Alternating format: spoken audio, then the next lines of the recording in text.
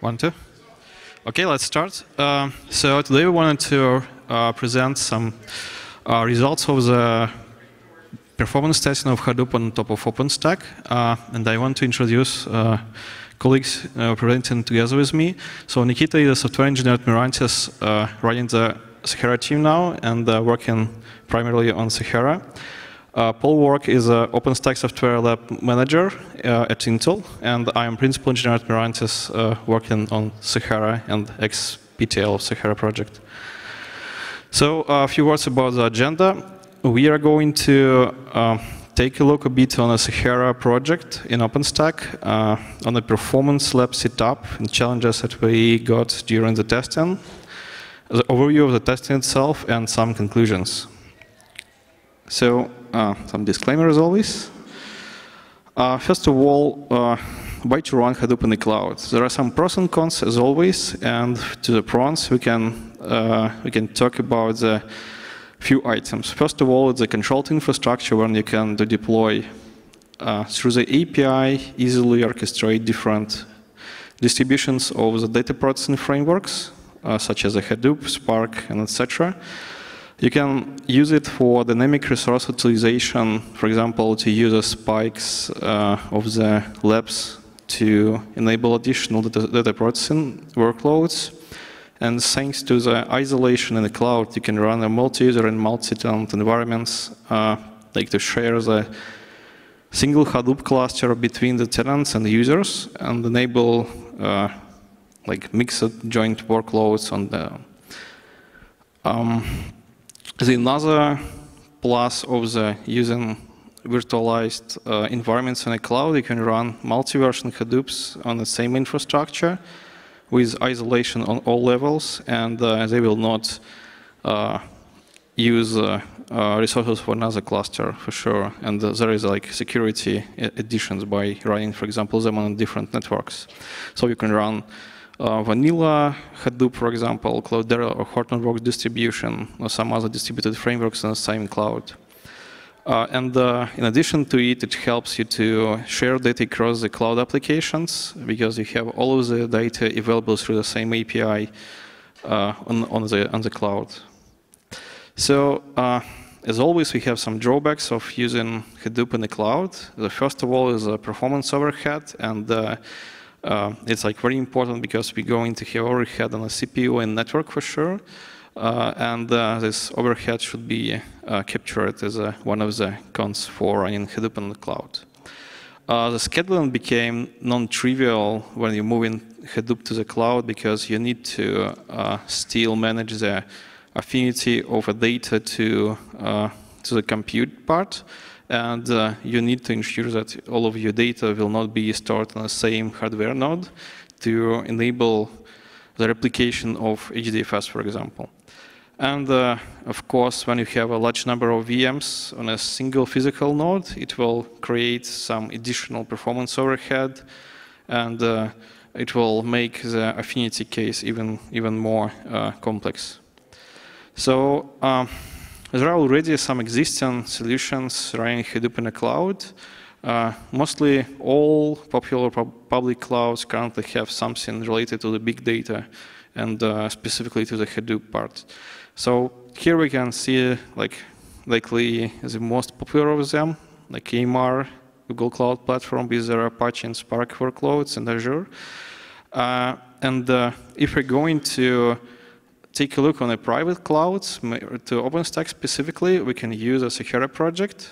Uh, it's an official OpenStack integrated project, enables data processing services and uh, uh, data processing from frameworks provisioning. So using Sahara, you can provision uh, frameworks on top of OpenStack and enable the data processing API.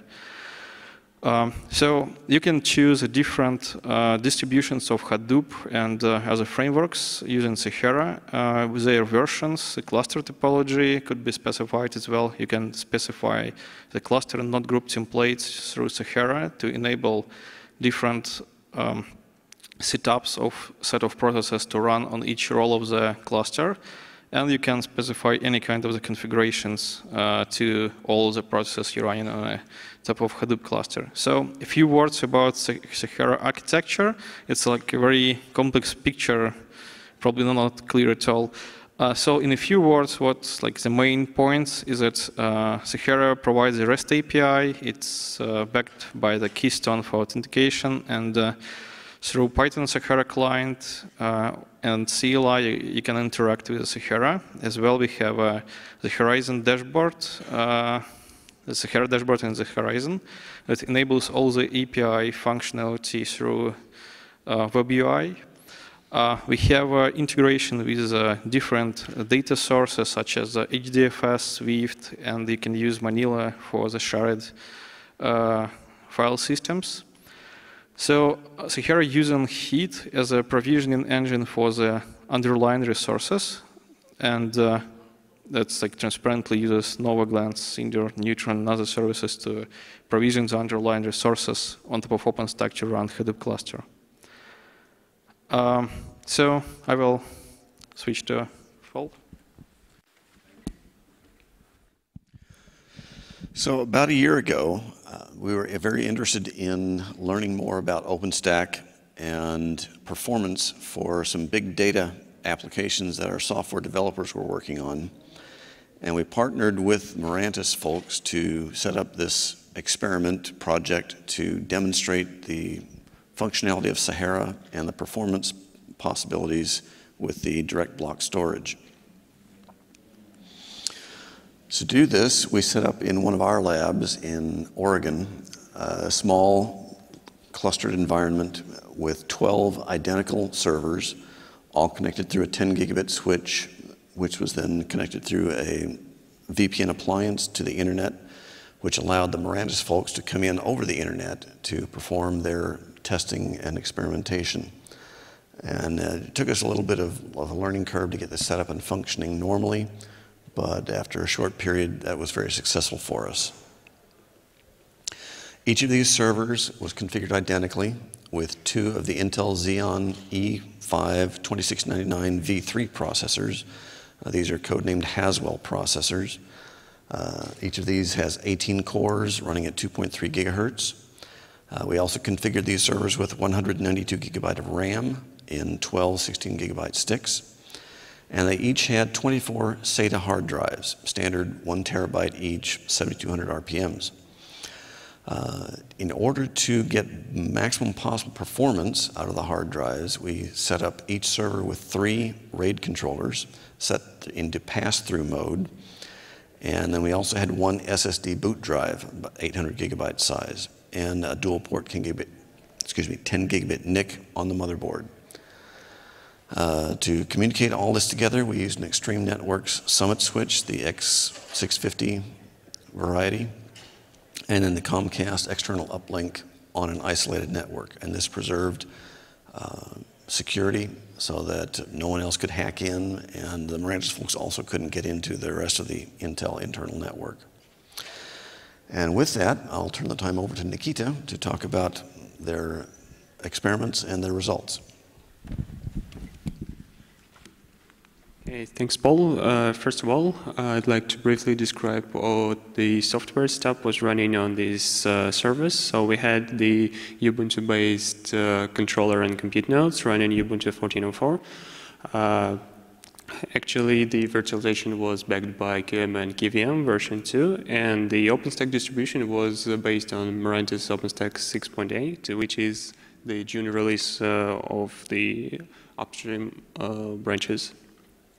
So, of course, in the testing, we have faced a few of the architectural challenges uh, that we needed to solve to reach the reasonable level of performance.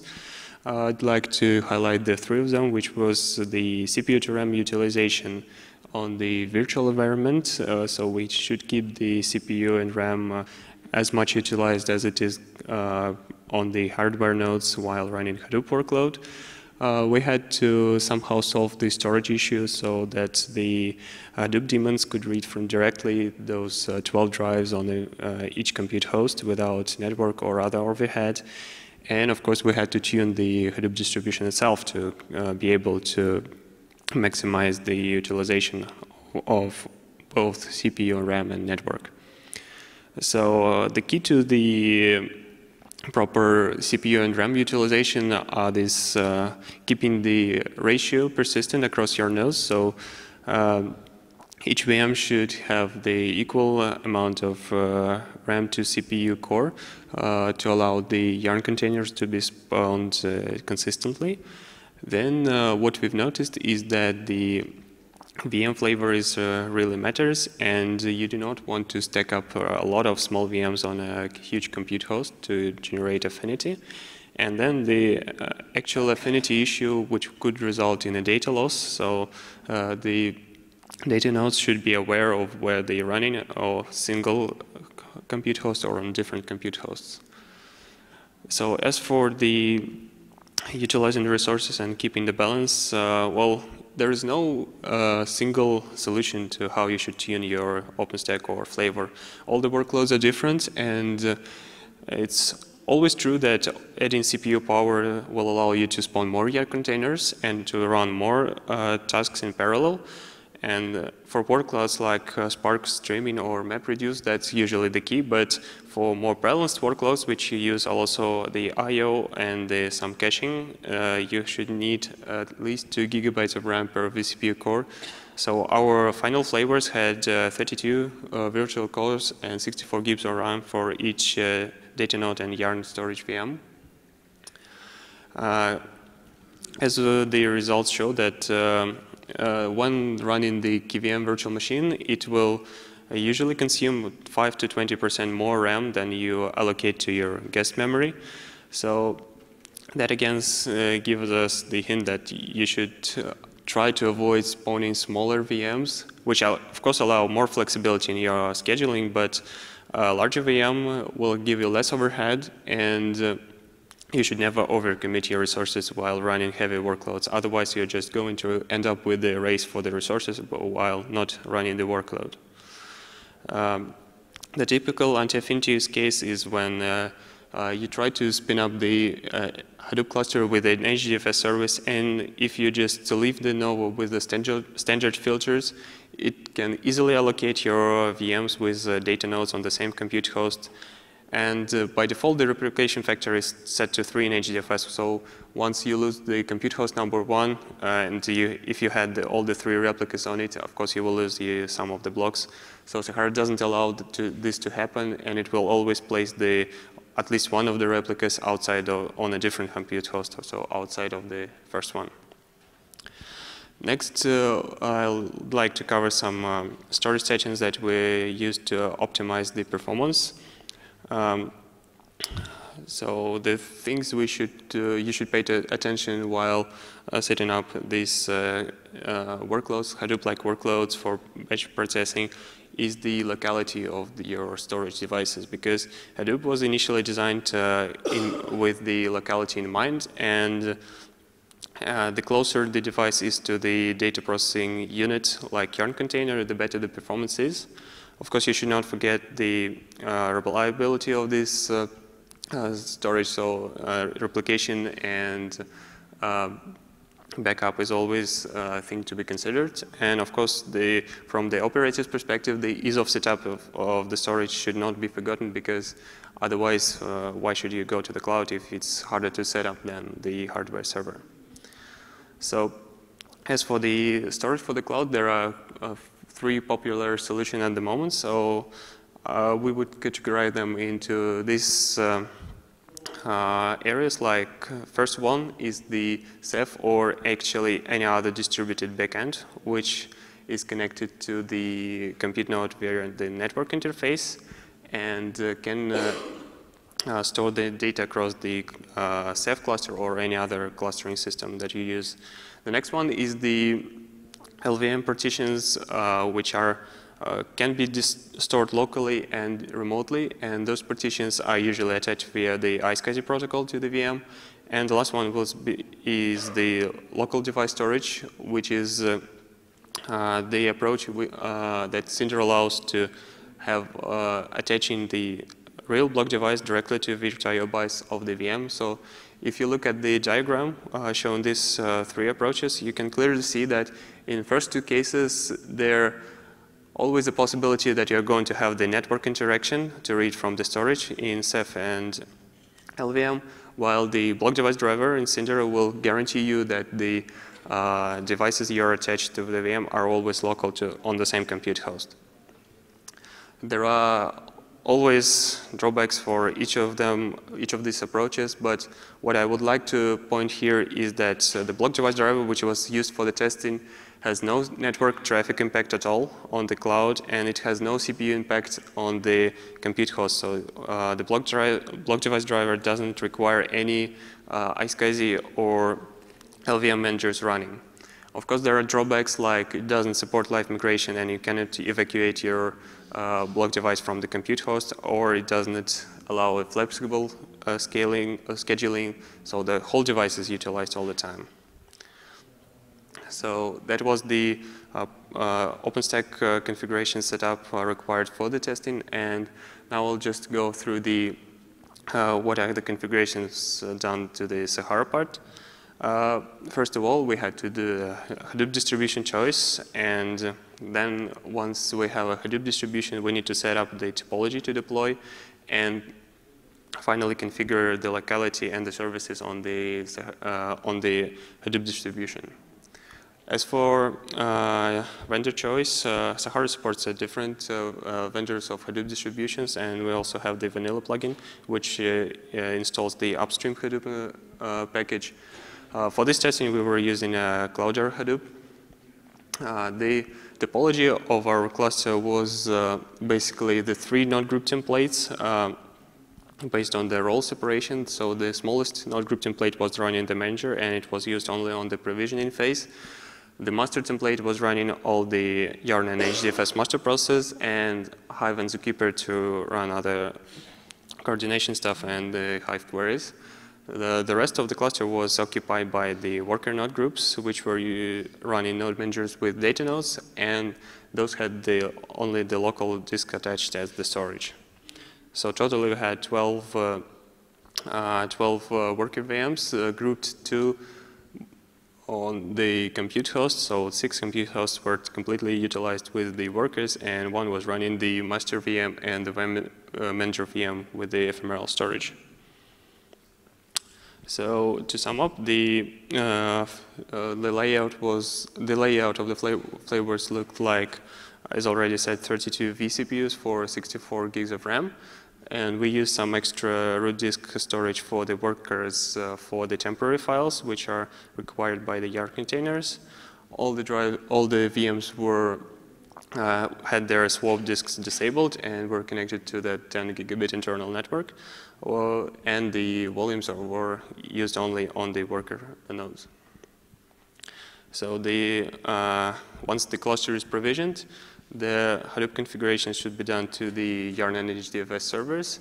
And uh, it's always important to know that uh, any Hadoop distributions comes already configured with some default settings.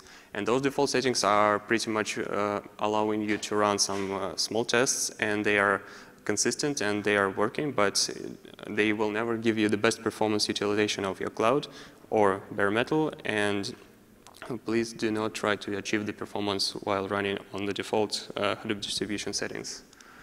So uh, I'd like to briefly go through the configuration settings we did for the Yarn service.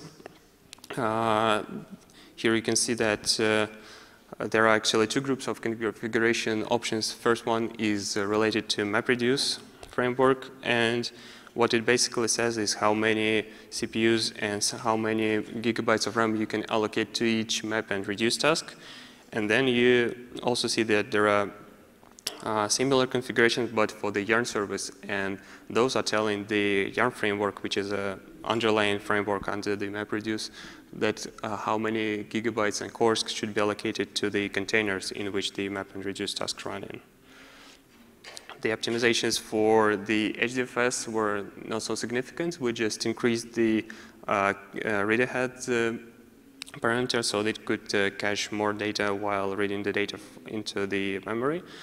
And uh, the block size for the testing was also significantly increased from 64 megabytes. So uh, it will be used for the synthetic testing. So in different workloads, again, the setting may be different. We also disabled the HDFS permissions just to ease the access to HDFS, but this is not a huge uh, impact on the performance, and uh, this shouldn't be strictly considered for not running on the production with permissions disabled. So what did we use for testing? Well, we took the very standard uh, Hadoop uh, benchmark, which is TeraSort. It's a three-phase uh, synthetic benchmark, and uh, all of these three phases are putting some components under stress, but uh, first of all, of course, the, it is the uh, uh data generation step, which uh, uh, uses a lot of describe operations, read, writing some random 100 byte strings to the HDFS with random values.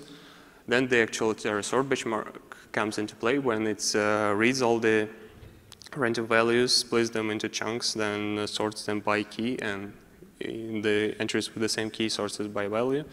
And after that, it stores them in a sorted fashion. All, of course, uh, replication of the output also comes into play, so there's a lot of network traffic being generated at this phase. And the last one is the validate uh, uh, hash-based hash validation of the TeraSort, which usually can just uh, put the disk read operation at stress.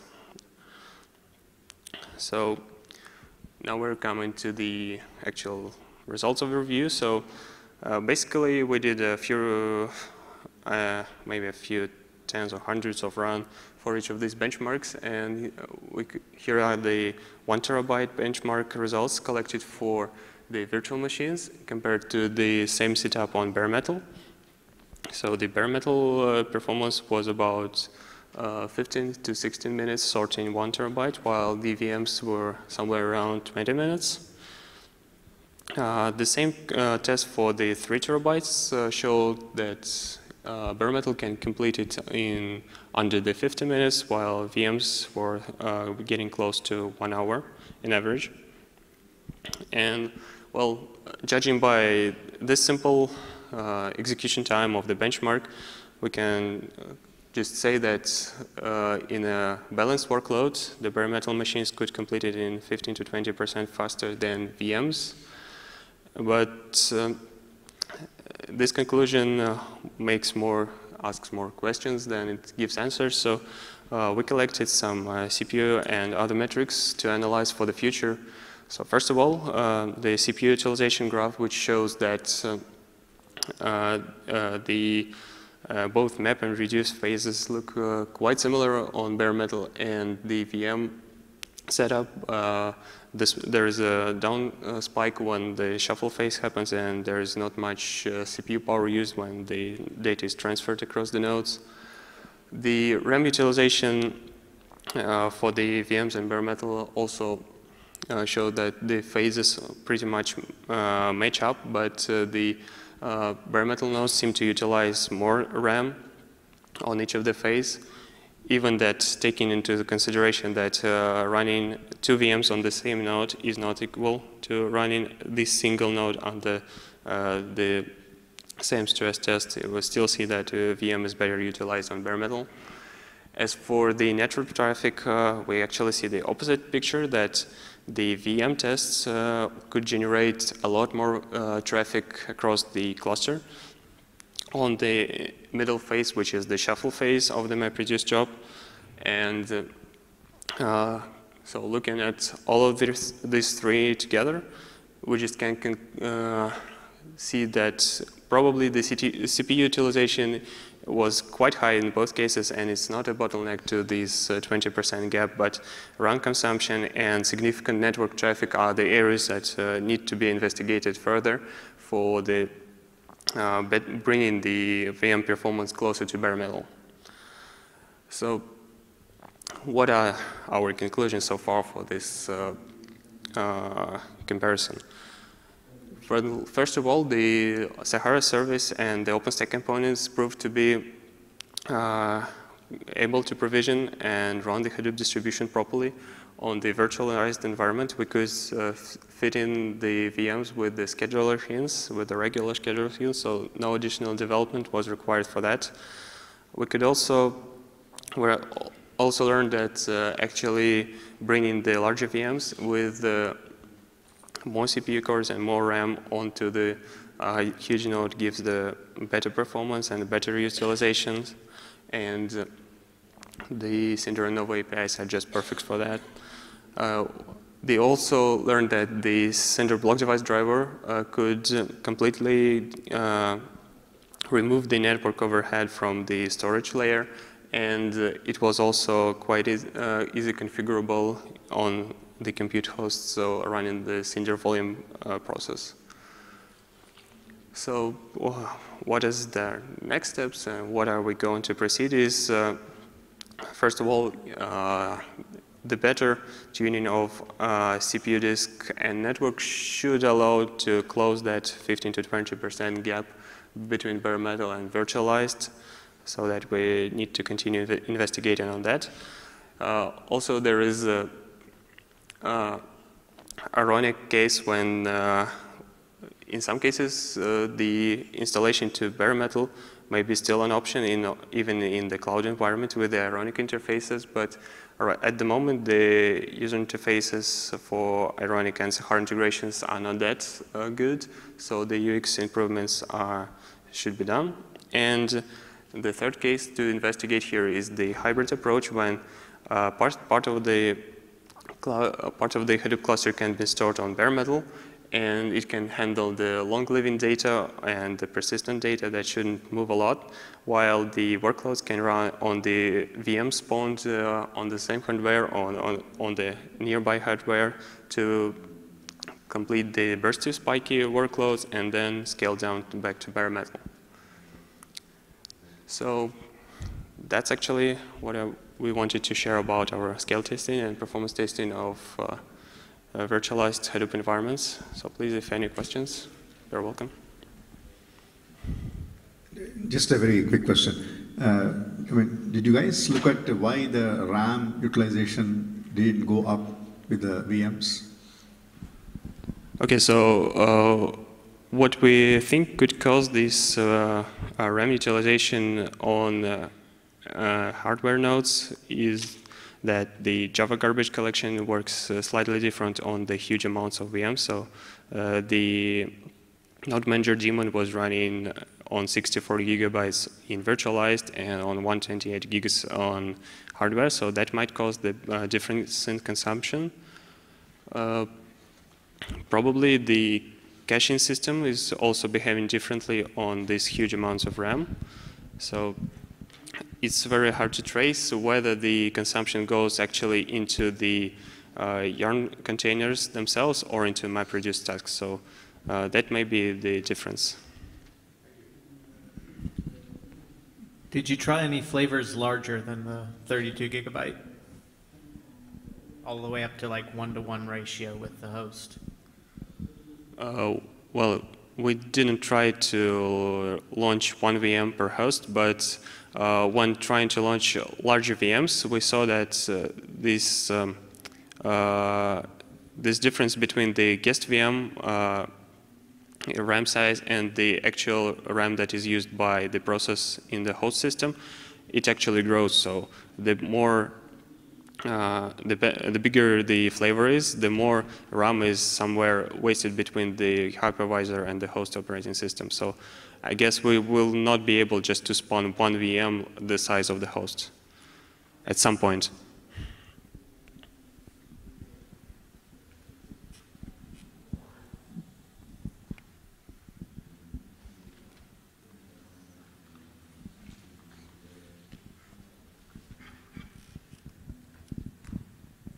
Another question.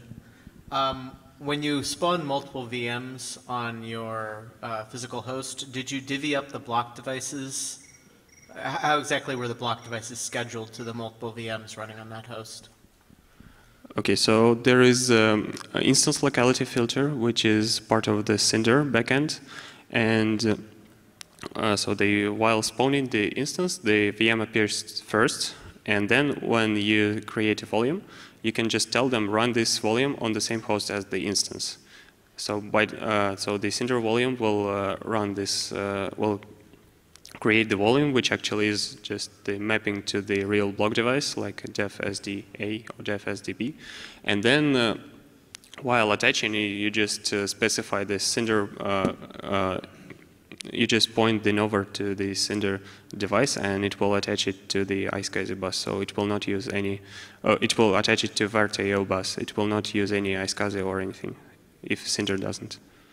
So you directly hooked up a certain number of, so Yes. how, how many block devices per VM was that? We had 12 per VM. Okay, thank you.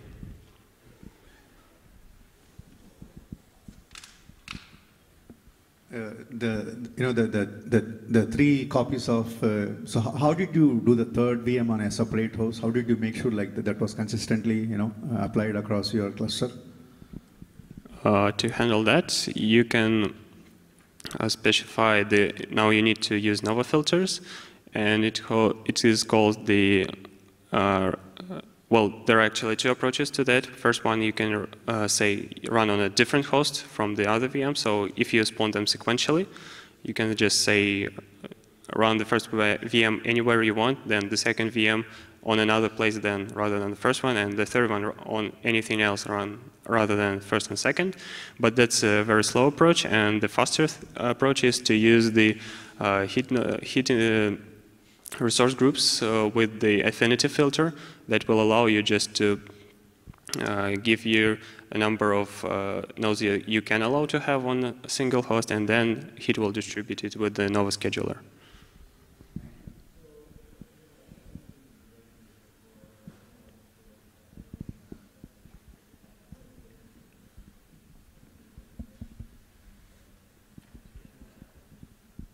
Okay, so if there is no more question, I think we can close this talk. Thank you.